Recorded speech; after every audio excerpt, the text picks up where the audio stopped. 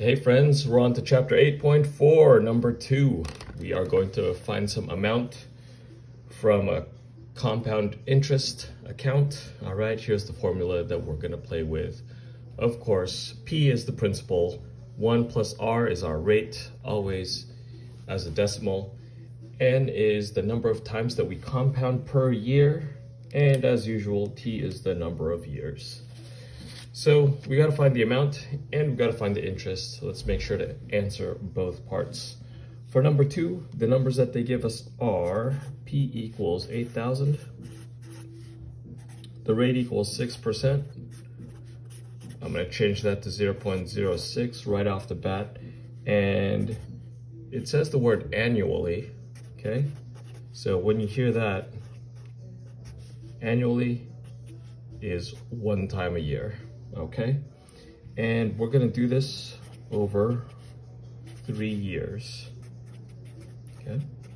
That's all the information that we need. We're just gonna plug it all into our formula. You make a line there so it's a little bit cleaner. A equals 8,000. 1 plus 0 0.06 over 1 to the power nt. So that's 1 times three. Okay, I hope you can see all that clearly. As usual, do everything that's inside the parentheses first. And within the parentheses, I have this division and then an addition, okay? So that's just 8,000 times 1.06. 1 times 3 is just 3. Oh, pretty straightforward. I'm gonna do my exponents first and then multiply it by 8,000. Okay, so I'm gonna get my handy calculator here. Clear, 1.06.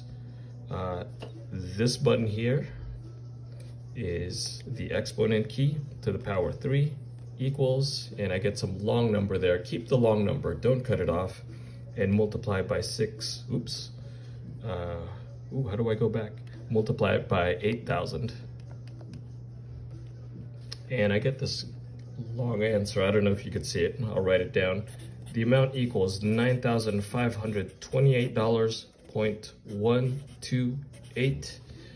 Now, since we're talking about money, I wanna just have two places after the decimal to get cents, all right? So my amount is actually $9,528, and this eight will round up that two to a three, and I'll call it 13 cents.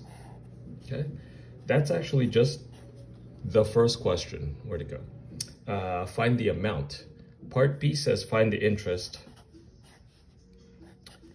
That's just the principal. Um, oops, I lied. That's just the amount minus the principal.